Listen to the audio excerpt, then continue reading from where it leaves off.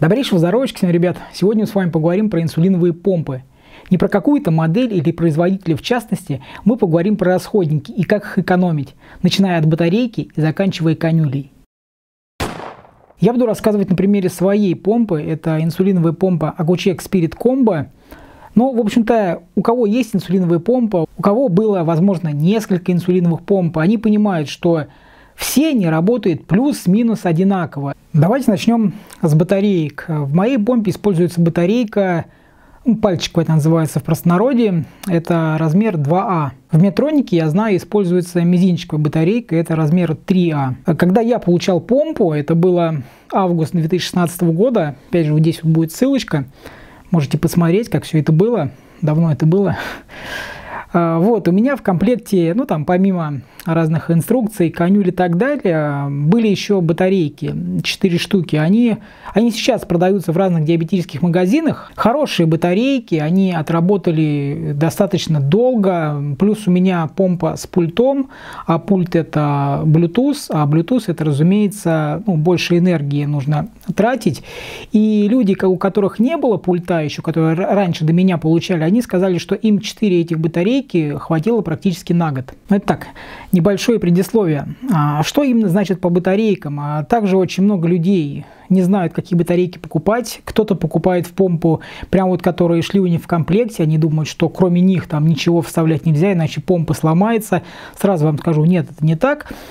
Батарейку вы выбираете, какую хотите. Никто вас там ни в чем не ограничивает, ничего у вас не сломается, с гарантией ничего не слетит. Есть такое небольшое серьезное но, нужно использовать хорошие батарейки или перезаряжаемые аккумуляторы.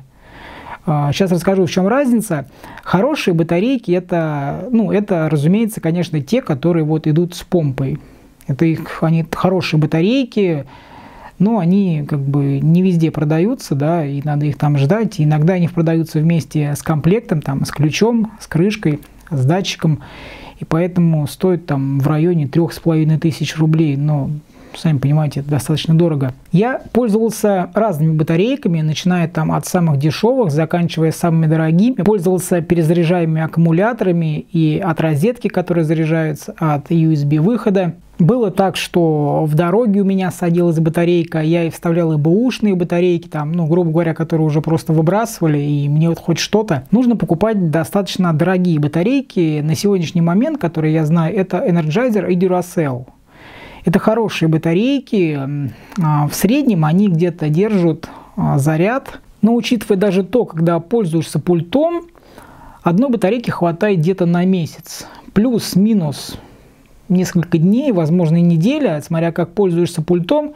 И потом еще, когда батарейка садится, когда на помпе показывается, что батарея разряжена, она еще работает около недели. Так что, если вы покупаете обычные батарейки, тогда покупайте, вот, ну, по крайней мере, я могу рекомендовать только вот эти две фирмы. Другие я не пробовал, не знаю. Не стоит пользоваться батарейками там из будильников, из детских игрушек, из пультов. Нет, потому что такие батарейки, они по-любому будут разряжены, но они вот самое опасное, что в таких батарейках они могут сесть в любое время. Окажетесь вы где-нибудь, ну я не знаю, там в транспорте в час пик у вас сядет батарейка. И поэтому не стоит использовать плохие батарейки дешевые. И если уж вы пользуетесь такими батарейками, если даже пользуетесь дорогими батарейками, всегда носите с собой батарейку про запас. Что касается аккумуляторов, а, я пользовался аккумуляторами, ну, которые вот заряжаются от так сказать, от сети, да, от розетки. И потом я себе купил аккумулятор, который заряжается от USB. Я покупал их на AliExpress. Они, для аккумуляторов они были достаточно дешевые. Там, ну, я точно не помню, там от 300 до 500 рублей за два аккумулятора.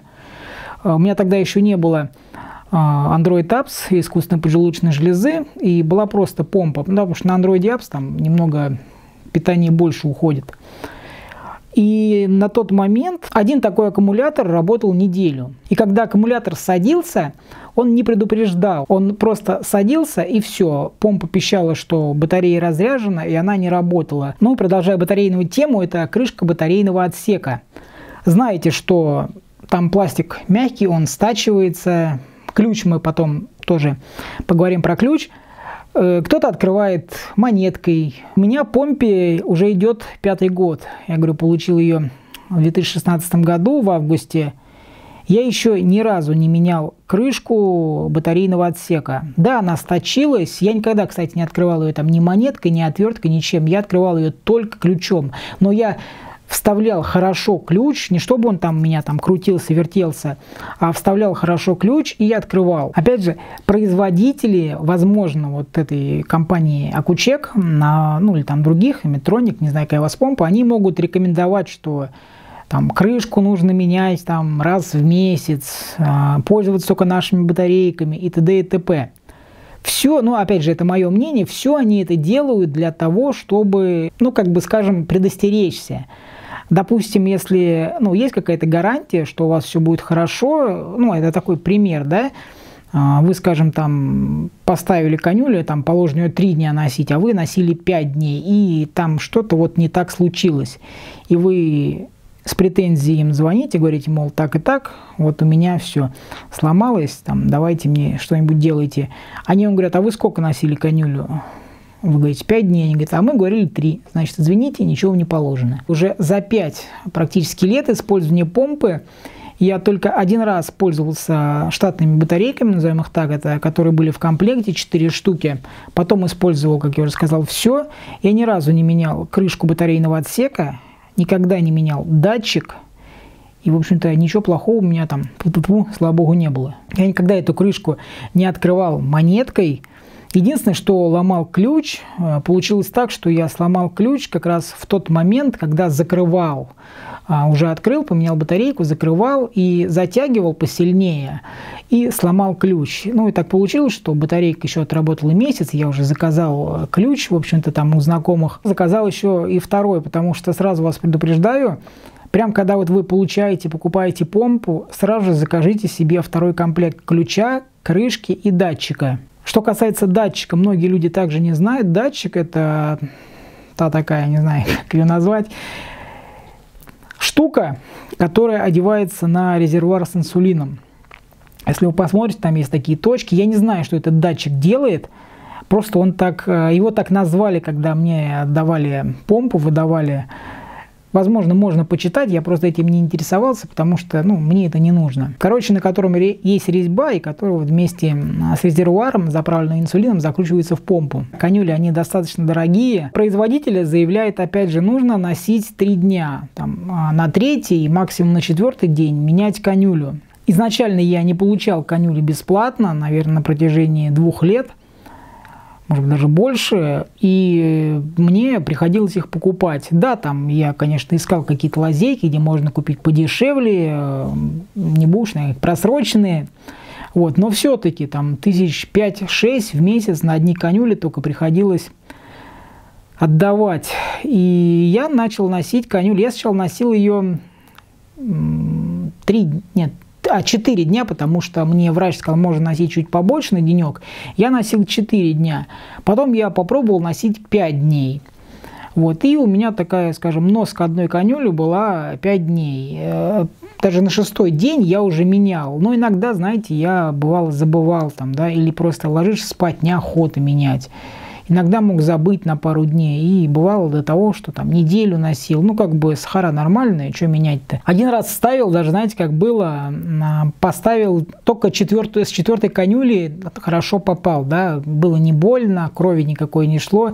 Три конюли ставил и попадал вот в какое-то место, не знаю, то ли щипало очень сильно, то ли прям еще нагибаться не мог, то ли кровь шла.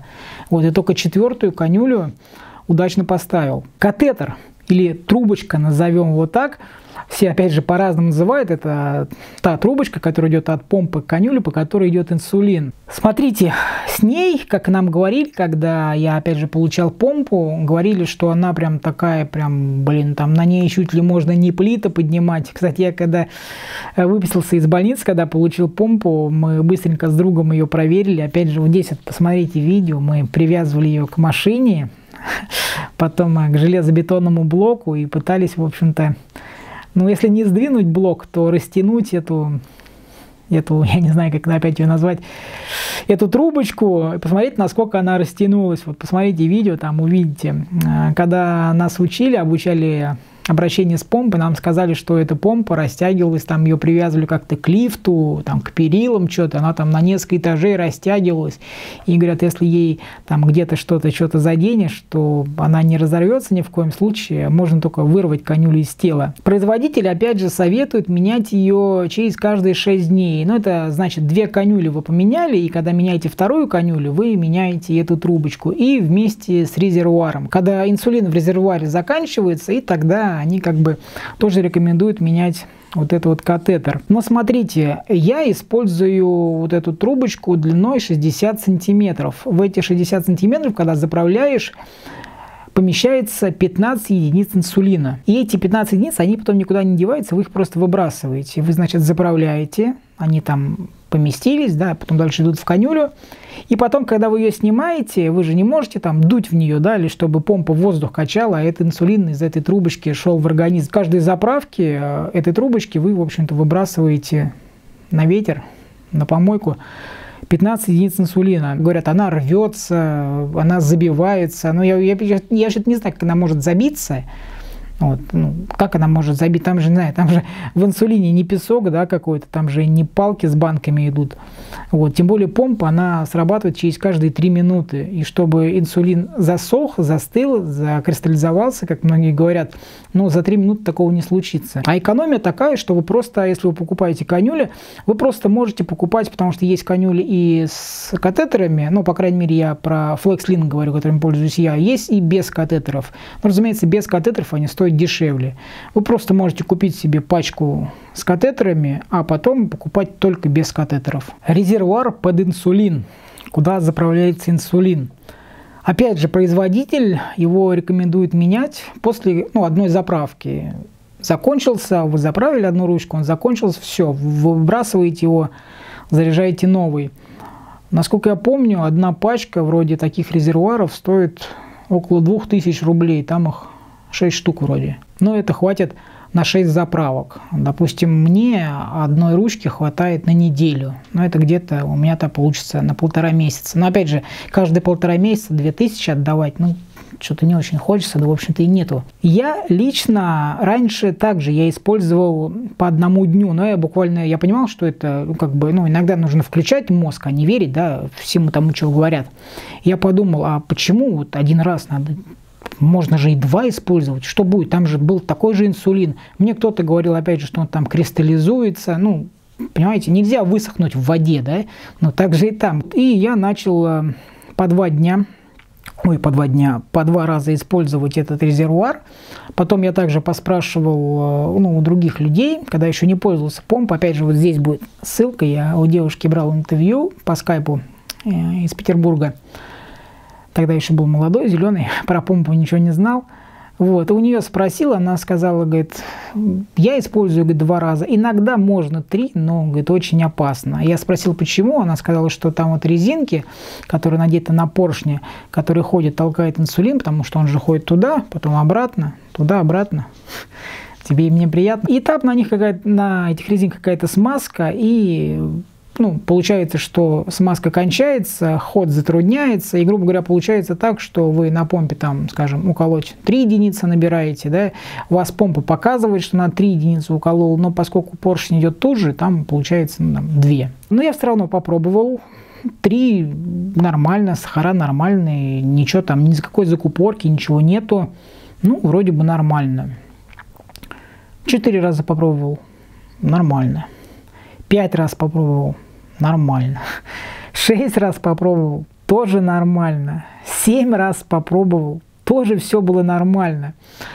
И на восьмой раз я заправил восьмой раз этот резервуар, и опять же все было нормально, ну там буквально через несколько часов, вот там сколько-то единиц кончилось, и э, помпа пишет закупорка. Я смотрю, иногда у меня бывала такая, ну, скажем, глюк такой, закупорка. Я просто перезапускал помпу, и все было нормально. Я перезапускаю, пишет закупорка. Но я начинаю методом тыка. Я откручиваю, точнее, я сначала снимаю с конюли, вот, включаю, думаю, может быть, конюля засорилась. Э, отсоединяю карабинчик от конюли, Включаю, пишет опять закупорка. Я думаю, ну может быть вот эту трубочкой что-нибудь произошло. Я отсоединяю трубочку от помпы, все равно пишет закупорка. Ну тогда я понимаю, что использую уже резервуар восьмой раз. Значит, виноват он. И, кстати, и самое главное, вот сейчас всем говорю, запомните это.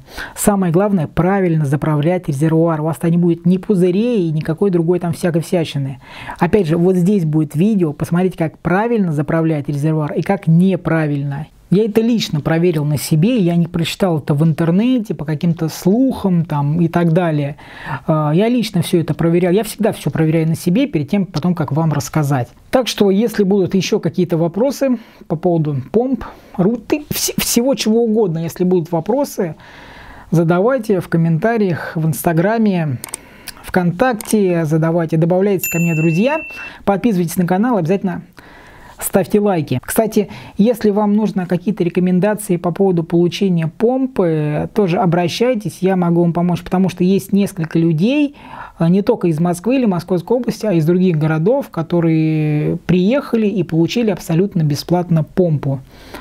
Вообще абсолютно бесплатно там, ну, максимум, что от них понадобилось, это подпись поставить. Спасибо вам за то, что вы есть.